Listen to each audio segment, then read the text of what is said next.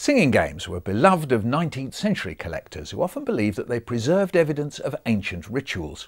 They were also seized on by those who imagine and lament a decline in children's traditional games.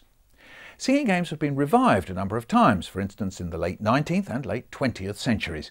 Nowadays tend to be taught by adults, whether in the playground, in singing lessons, in children's parties or via children's television programmes.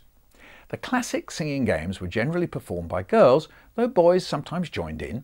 Many involved circling whilst holding hands and had a courtship or marriage element.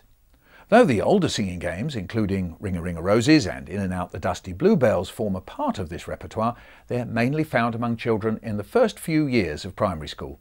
As children grow older, more of their singing games can be traced to their media cultures, ranging from cheerleading, handshakes and pop song routines to elaborate restagings of routines from their favourite musicals. The Opies recorded children performing songs of the pop stars of the day, from Bob Merrill's She Wears Red Feathers to Lena Zavaroni's Ma, She's Making Eyes at Me to ABBA. And we have recent examples of children using songs and dances from Beyonce, High School Musical and Mamma Mia.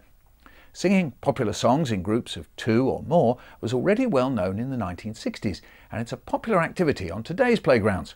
Sometimes this is accompanied by dance moves, either made up by the children themselves or increasingly copying routines seen in films, music videos or learnt in dance classes. Boys and girls both engage enthusiastically with this kind of play, girls often showing a preference for mainstream pop and boy bands, while boys tend to follow street dance forms and male performers such as Michael Jackson and the dance group Diversity, which won the TV show Britain's Got Talent in 2009. A casual adult observer might suppose that children are simply mimicking routines they've seen in the media, but the picture's more complicated than that.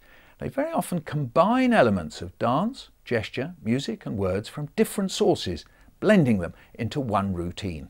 They may also learn these routines from each other or from parents, siblings and cousins rather than directly from the media.